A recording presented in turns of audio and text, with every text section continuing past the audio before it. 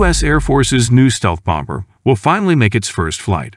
The U.S. Air Force confirmed that it plans to unveil the B-21 Raider stealth bomber during an unveiling ceremony hosted by the Northrop Grumman Corporation at its production facility in Palmdale, California. The B-21 is a highly survivable long-range attack penetration stealth bomber that will gradually replace the B-1 and B-2 bombers, becoming the backbone of the U.S. Air Force's bomber fleet. The unveiling of the B-21 Raider will be a historic moment for our Air Force and for the nation. Said Air Force Chief of Staff General C.Q. Brown, Jr., we last introduced the new bomber more than 30 years ago. When we see the threat posed by our pacing challenges, we must continue to modernize rapidly.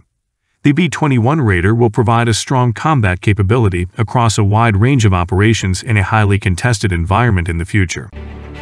Once opened, the B-21 program will continue a rigorous testing campaign with a combined team of professionals from the Air Force Test Center, Air Force Operational Test and Evaluation Center, and Northrop Grumman. Their work will verify performance and identify areas for improvement of the weapon system. The Department of the Air Force invests in the aircraft's long-range strike capabilities as part of its seven operational imperatives as it develops the advanced communications, sensors, and broad mix of weapons and support systems needed to deter our adversaries and win in battle. We must invest in long-range strikes in highly contested environments by integrating the B-21 bomber with advanced communications, sensors, and a broad mix of weapons and support systems. The B-21 program is a strong example of America's long experience deploying advanced military technology through an innovative, adaptable, and efficient defense industrial base, said Andrew Hunter, Air Force Assistant Secretary for Acquisition, Technology, and Logistics. The Air Force made a decision early in the program to create a production representative for the flight test aircraft, which is paying dividends as we look toward first flights.